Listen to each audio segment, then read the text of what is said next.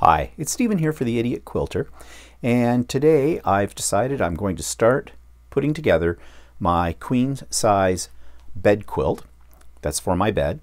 I've been planning this for a while, but I just haven't got around to doing it. I think I've been putting it off because I'm a little afraid of doing this, but I've got to plunge right in. So I've got to prep some material for this quilt. This has been my largest quilt yet. This is, I'll get the glare off that. This is the pattern. It's called the Labyrinth.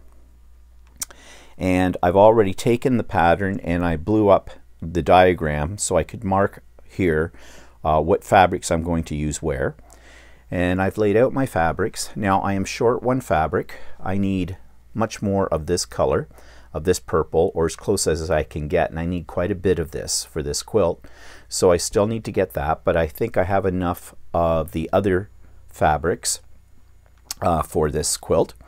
And what I'm going to do next is I'm going to prep the material, the fabric, by pressing it first. I may give it a little bit of uh, spray starch, easy press, as well on this.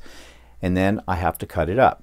This is going to take some time because um, I want to be very, very accurate in everything that I cut for this quilt.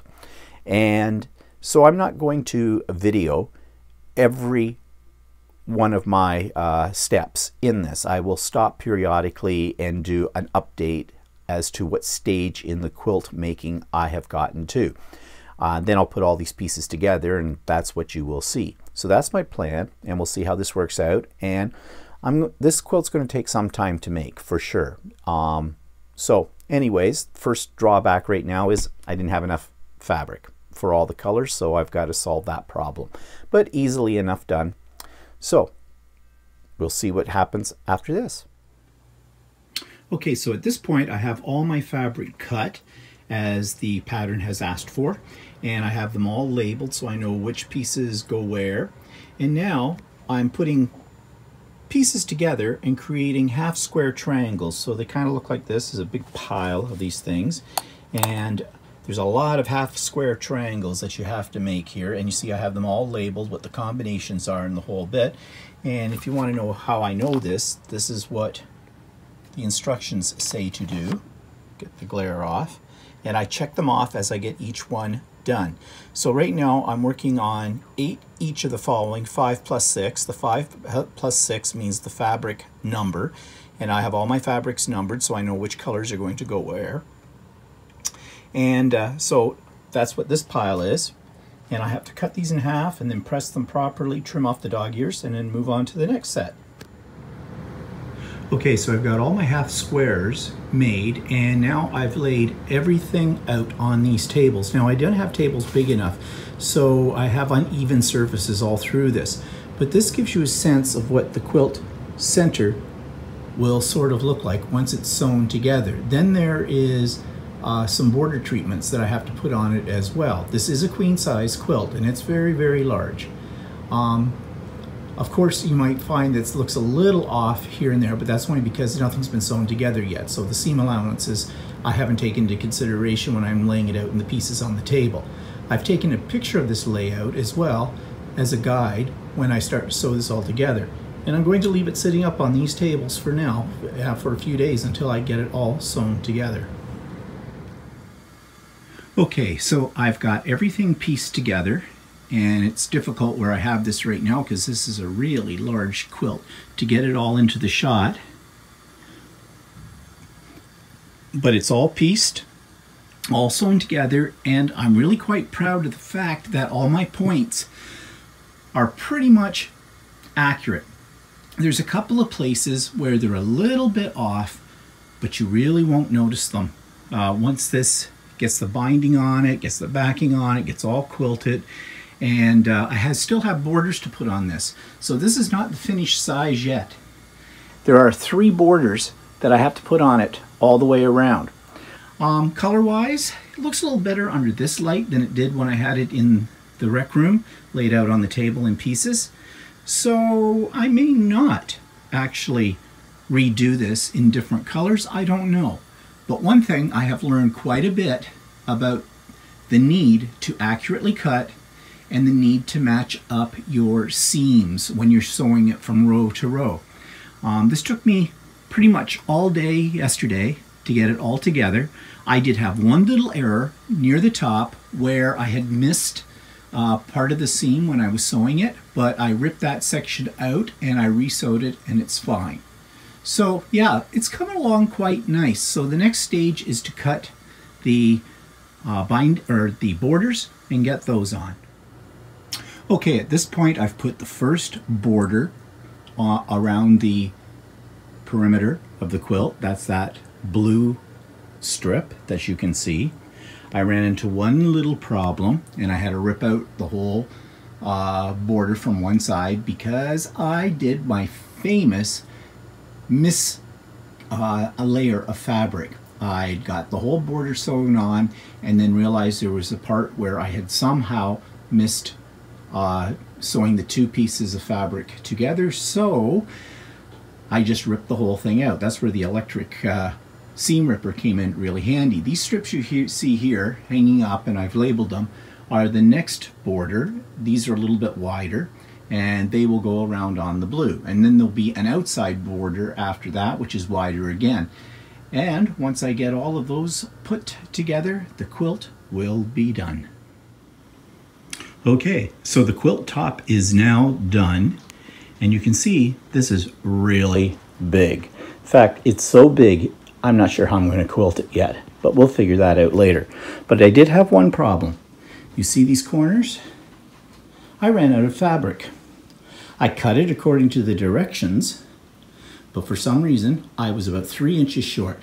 So I thought, well, I had more of that other material I used up here in the center, and I made squares, and I placed the squares into the border, which actually I think adds something to it. So that's a deviation from the pattern. Now I have to get batting and backing, do the quilting, and add the binding. Okay, so now I'm starting the layering of this quilt. And you can see I've got it spread out here on the floor. And right now on top of it is the batting. And I got a lot of batting. And I don't have a table big enough for this. So I have to do it on the floor. And I actually have a carpet underneath this. And I was able to clip the quilt um, right side down onto the edges of this carpet to hold it in place at least at the top and on this one side. And now I've smoothed out the batting and I'm going to do spray basting. So I'm going to very carefully, I'm going to cut off this excess over at this side. Then I'm going to roll the batting up halfway, spray it, put it back down, try to get it as smooth as possible, and then do the other half of it. And then I'm going to lay the background uh, fabric on top of this and do the same thing. So the quilt now is all layered and this is the top and you've seen that before. And this is what's on the back. And that's what I'm gonna make the binding out of as well. Um, but what I have to do next is I've taken a picture of this so I can diagram out how I'm going to quilt this because this is going to be a big job and I want to get it right. And I'm going to take the leftover pieces from this backing and I'm going to cut them down to two and a half inch strips and form my binding for this. So that's going to take some time as well. Okay, so now I'm working on the final stages of this giant quilt and I am machine quilting it as you can see here and you can see there's a lot of quilt happening. So I've had to put a, an extended table, folding table off to the end of my sewing machine to support the bulk of this quilt. And I have been practicing ruler foot quilting, very simple ruler foot quilting. I'm just using the straight ruler on this and I'm basically doing sort of a, a stitch in the ditch. Um, I'm not aiming to get right into the, the ditch of each of the blocks. I'm just moving off slightly to one side because I do want the quilting to show up. This is going to take a long time to do this and it's a real pain trying to get it around the throat of the machine, as you can imagine. But I will persevere and come back when I get this part of it done. Okay, so I've still got some more of this to quilt, but to give you an idea of what it's looking like so far, I did ruler foot quilting just straight line around each of the, the star and the squares and things like that. Then I went across the whole center panel using a walking foot uh, quilting method, which is just a simple wavy line, which I think has turned out pretty good. Now, above this white section is what I have to quilt next. And uh, right now I'm thinking I may just stick to using the wavy line in that section because there's kind of a natural break here where the blue border uh, goes around. And then above that, I'm not sure what I'm going to do. So I have to think about this. But so far, I'm loving it. So I had a little problem with the quilt.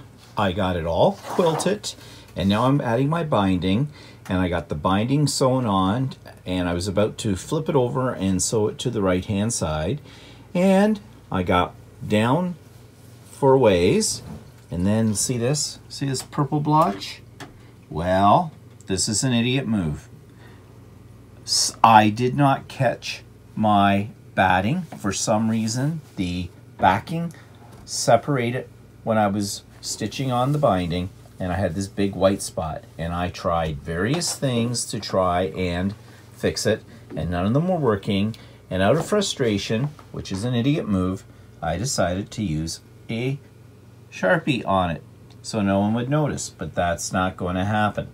So I've decided I am going to stop here and I'm going to tear rip out all of the binding and start over again and make sure it catches all the way around. And that spot will then be covered up. What an idiot I am. Okay, so here it is, finally finished. I corrected the problem I had with the binding and it looks pretty good. It isn't perfect. The corners are not perfectly mitered the way they should be, but it's done. And done is better than perfect. So this was a lot of work, a lot of time, a lot of frustration, um, but it's done and I think it came out pretty good. Is it a show quilt? No, not even close. But for a utility quilt that's going to go on my bed, it will work fine. Now I'm debating, should I put it through the wash or not? Hmm, we'll wait and see.